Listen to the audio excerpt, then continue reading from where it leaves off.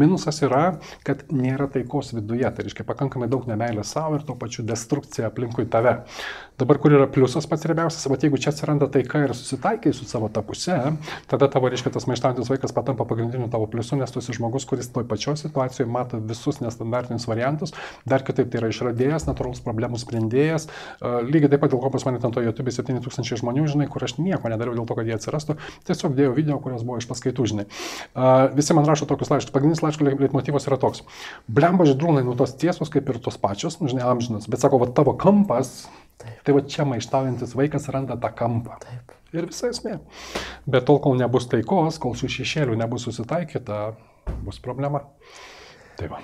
Štrūnai, um, noriu tokio dalyko tavęs ir paprašyti, ar tu galėtum iš tikrųjų, nes man visada patinka per eterį nusinuoginti ir kaip per praeitą eterį mane nunuoginai, įvardinti tiesiog mano tuos tris pagrindinius archetipus.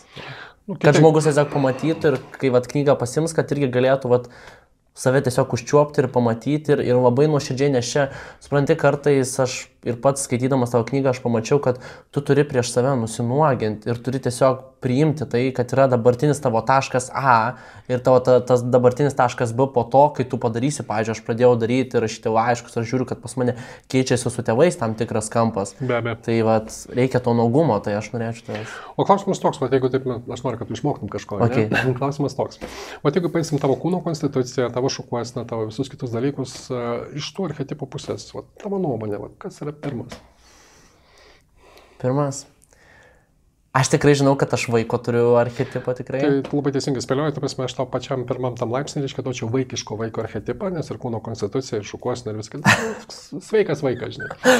Toliau aš esu matęs Facebook'e, kad tu darai 28 projektus vienu metu. Paaiškinsiu, ką tai reiškia. Vaikas kaip žaidžia. O, mašinėlė. Brum, stumdo tą mašinėlę. Kastuvėlis, kaip fainai. O, kokia mergaitė. Daiva, ką tu? Į kurią pusę suku. Bet dabar noriu, kad suvokum, kas yra vaiko šešėlis. Tu esi tas žmogus, kuris daro 20 dalykų vienu metu, bet techniškai tam negalima ne viename iš jų sustoti. Ir kai tu sustoji kaip vaikiškas vaikas, ten tau prasideda kančia. Dėl ko? Dabar kažkas pasakė, tu žaisi mašinėlę. Jokių kastuvėlių ir į daivą nežiūrėk what the fuck.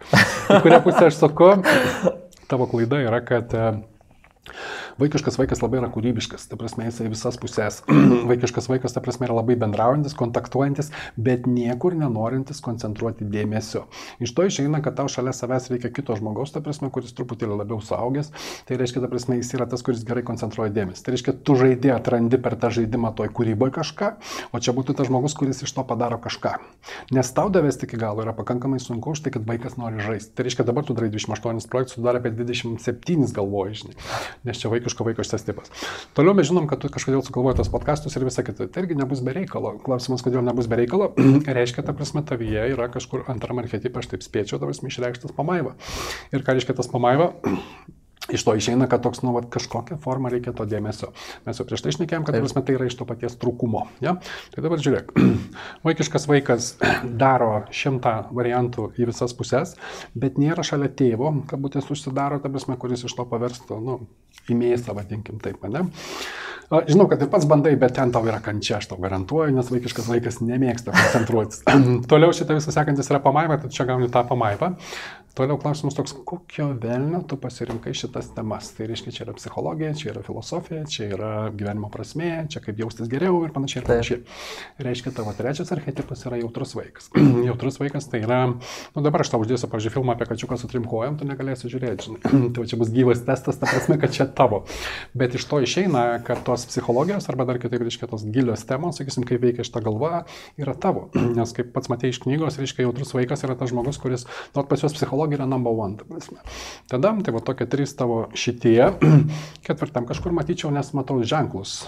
Tatuškės, ta prasme, ir tam tikri kiti dalykai, reiškia, sako, kad kontrastuojančios spalvos kalba apie batus ir kelnes. tai sako, kad dar kažkur pas tavęs sėdi ir maištaujantis vaikas. Tada, tai va tokie būtų tavo archetipai, reiškia, pagal šitą sistemą. Ir kaip minėjau, reiškia, kiekvienas iš jų turi tą savo šviesę pusę ir turi savo šešėlinę pusę. Tai va tavo šviesioji yra va, mm. į visas pusės, tavo šviesioji yra dėmesio centre, ta prasme, tavo šviesioji aš suremontavau daug žmonių, žinai. Tada, tai va čia visur šviesu, žinai. Dabar nueikim, ta prasme, į tą tamsėje pusė. Tai su vaikišku, kaip ir minėjau, sakau, nemoky davesti iki galo. Čia tavo silpna vieta, tai reiškia reikalinga. Ir tau nereikia pasikeisti, nes jeigu, pažiūrėjau, tu pasikeisi ir būsi tas, kuris daveda iki galo, tu sunaikinsi vaiką. Nebelieka tos kūrybos, nebelieka to žaismingumo. Tada šitą visą einam į antrą pusę, va, tas pamaimas su juo viskas yra tvarkoj. Toliau pamaimas ta antra pusė yra klausimas toks, va, ką darai dėl to, kad gautum tą dėmesį bet kokią kainą. Nu, tas, jeigu, pažiūrėjau, kitą kartą darai kvailystės vien tik tai tam, kad gautum, kas yra kvailystės. Nu, tu savo namie išeisi, taps nusimausi kelnius, sakys, ką jūs, o čia jau bus, žinai, darau specialiai, ta prasme, tik tai tam, kad gautų dėmesį. Tai va, čia bus ta minusinė pusė to paties pamaimus, dabar nueikim, ta prasme, tą jautr, jaut, jautrąją pusę. Vat pliusas yra, kad tu esi jautrus ir, ta prasme, labai traukia tas visas psichologijos ir visa kita, o minusas yra toks. Jeigu aš dabar tave įžeisiu ir žaidimo žodis dešimtbaliai sistema, jeigu mes čia surinksim komisiją, bus trys balai, nu, jie sakys, nu, aš pasakiau, pažiūrėtas yra dundukas, žinai, kažkas tai tokio. Kad suprastume esmę, ne? Va tau dundukas skamba kaip ta prasme, tu esi ten aslo beretė, aslo beretės sagos ten siūlo kažkas, tai į kurią pusę sakau, per savo jautrumą tu turi tendenciją išdidinti kritiką tau. Tai reiškia labai jautri reaguoji, vaikiškas vaikas to neparodo, bet iš tikrųjų viduje labai išgyveni. tai va čia visur yra pliusas, minusas, visur yra šešėlis, visur yra šviesioji pusė ir panašiai ir panašiai. Tai gal giliau nekim, nes čia vis tiek yra eteris. Tai... tai